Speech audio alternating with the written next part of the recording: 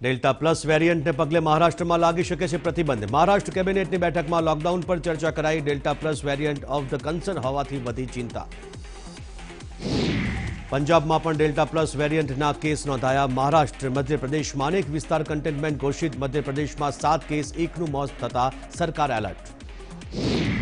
અભિનેત્રી પાયલ રોહતગીની કરવામાં આવી ધરપકડ સોસાયટીમાં ઝઘડા અને ચેરમેનને ધમકી આપવાના આરોપમાં કરાઈ કાર્યવાહી અમદાવાદમાં સોસાયટીના ચેરમેનને સોશિયલ મીડિયા પર અપશબ્દ બોલવાનો આરોપ ગુજરાતમાં કોરોના ડેલ્ટા પ્લસ વેરિયન્ટનો એક પણ કેસ નહીં અત્યાર સુધીના સેમ્પલના રિપોર્ટ નેગેટિવ દૈનિક ત્રીસ સેમ્પલ રિસર્ચ માટે મોકલાય છે અત્યાર સુધી એક હજારથી વધુ સેમ્પલની થઈ ચકાસણી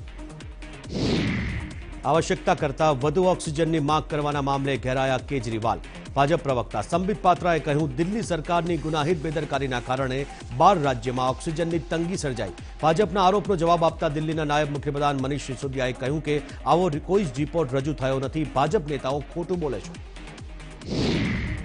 સુરેન્દ્રનગરમાં પતરાવાડી ચોકમાંથી સરકારી અનાજનો જથ્થો ઝડપાયો મામલતદારની ટીમે સરકારી અનાજનો જથ્થો ઝડપ્યો ત્રણસો ચોર્યાસી કટ્ટા ઘઉં બસો ચાલીસ કટ્ટા ચોખાનો જથ્થો ઝડપાયો સરકારી માર્કા સાથેનો અનાજનો જથ્થો જપ્ત આ જથ્થો સરકારે ખેડૂતો પાસેથી ખરીદેલો હોવાની આશંકા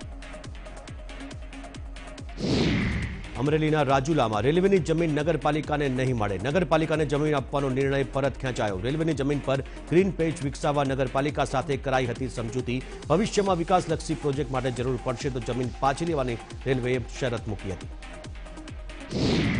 રાજ્યમાં કોરોનાના કેસમાં ઘટાડો થતા વહીવટીતંત્રએ રસીકરણ પર મૂક્યો પાર રાજ્યમાં હોટલ સંચાલકો અને સ્ટાફ માટે ત્રીસ જૂન સુધી કોરોના રસી લેવી ફરજિયાત અમદાવાદની મોટાભાગની હોટલમાં સ્ટાફને રસીનો જથ્થો અપાઈ ચૂક્યો છે